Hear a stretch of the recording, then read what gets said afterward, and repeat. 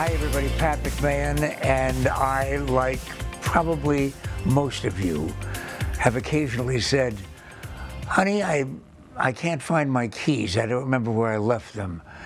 And there's always that fear that fear of the condition, some form of dementia.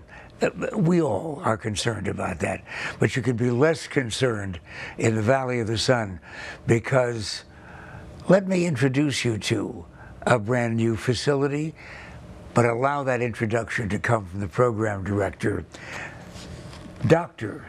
Maribeth Gallagher. Thank you. It's so nice to be with you. Well, and it's good to see you again, but please introduce our audience right now by telling them about the new facility that I call the Miracle on 44th Street. Great title.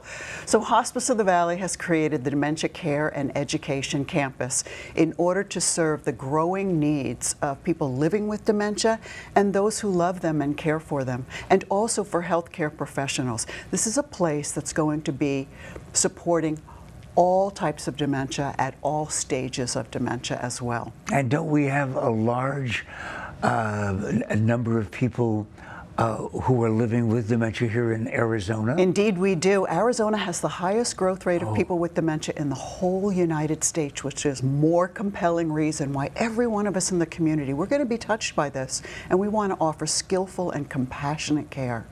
So here's a place that I expected would look more like a, a clinic or maybe an expansion of the home-like atmosphere of Hospice of the Valley, and it's a campus. It looks like uh, uh, it looks like a community college.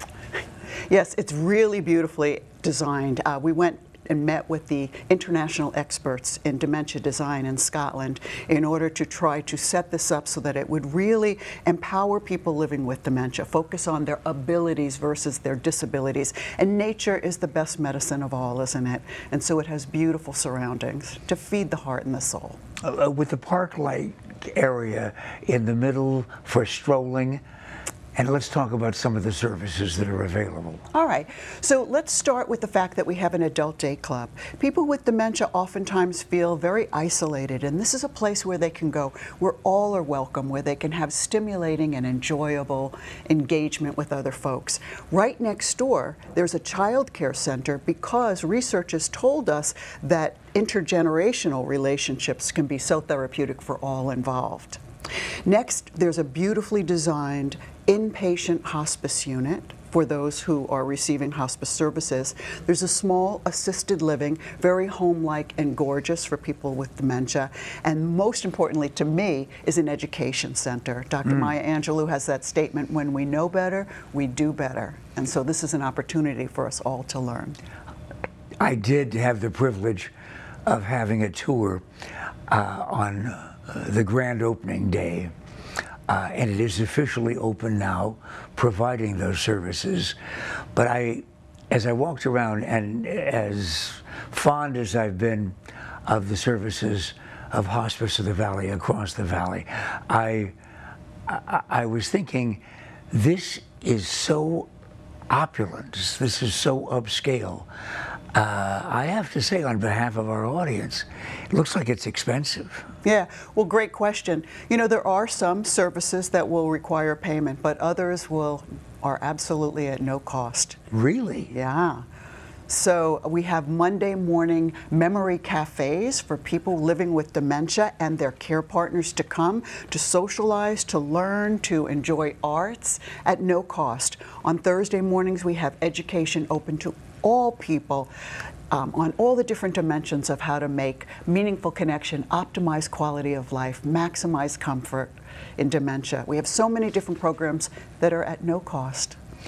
For those folks who, like me, occasionally look around for their keys, um, and we all have thought about it. Absolutely. How do they get in touch, though, if they are diagnosed? How do they get in touch with someone who might want a tour like I had? Yeah. So our general Hospice of the Valley number is 602-530-6900 or hov.org to learn more. Okay, so getting in touch with Hospice of the Valley will do it, but only if we know what to ask for. Right. So, you know, a lot of people who have dementia or suspect that they have dementia won't receive a formal diagnosis, but they can simply call because we have a special program, again, at no cost, called Supportive Care for Dementia Program, in order to help them live well and stay in their homes for as long as possible and to help their families do. And from what I'm told, the kids that are already there Yeah. looked around and said, when are the grandparents coming? Yes, when are the grandmas and grandpas coming? Well, so you know now about it. The official name, Maribeth, of the organization, Well, Hospice of the Valley's Dementia Care and Education Campus. and the official address. blah, blah, blah, 44th Street, south of Indian School. Right. So if you get into the vicinity of 44th and Indian School, you can't miss it. Or just roll the window down and ask about where do I find the miracle on 44th Street? This is Pat McMahon, and aren't you glad that you just stopped by for an introduction?